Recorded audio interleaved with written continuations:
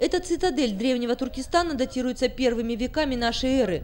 Впрочем, уникальность городища не только в том, что более древних построек в Казахстане пока не нашли, но и в загадочном крестообразном строении, функциональность которого для археологов все еще загадка. Вот только перед дождями, снегами и ветрами глинобитный город, веками хранившийся под землей, устоять не сможет. Чтобы не потерять памятник истории, прежде чем загадка будет разгадана, и сохранить цитадель для потомков, место раскопок решено закрыть огромным куполом. Под этим перекрытием можно будет продолжать дальнейшие исследования, можно будет проводить консервационные работы, то есть сделать этот объект достойный, так сказать, э, ну, туристическим объектом с большой буквы. Сохранить уникальные сырцовые стены, возвышающиеся на 3,5 метра, поможет вот такое необычное сооружение размером 30 на 50 метров. Автор проекта – известный архитектор Садуакас Агитаев, на счету которого несколько похожих объектов. Правда, такого крупного, признается архитектор, пока не было. В принципе, на территории СНГ, наверное, таких конструкций нет.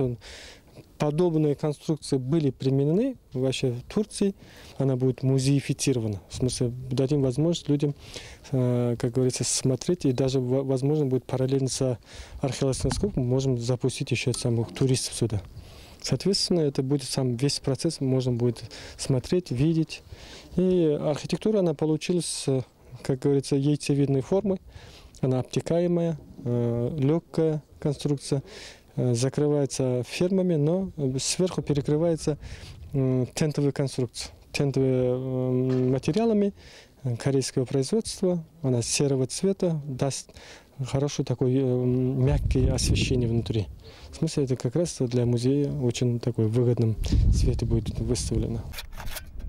Возведение купола планируется завершить уже в следующем году. Возможно, к этому времени цитадель Культабе будет включена в комплекс историко-архитектурного памятника Хаджи Ахмеда Исави, ведь мавзолей находится от места раскопок всего в 300 метрах. Подобные строения, говорят ученые, были обнаружены в районе Тараза и в древних слоях Ташкента. Похожие по форме сооружения исследовано в районе Бухары. Однако загадку необычного крестообразного сооружения, расположенного в центре цитадели, археологам до сих пор разгадать так и не удалось. Ирина Притула, Монтао Ильбеков, Ербол Макашев, информационная служба телекомпании «Отерар».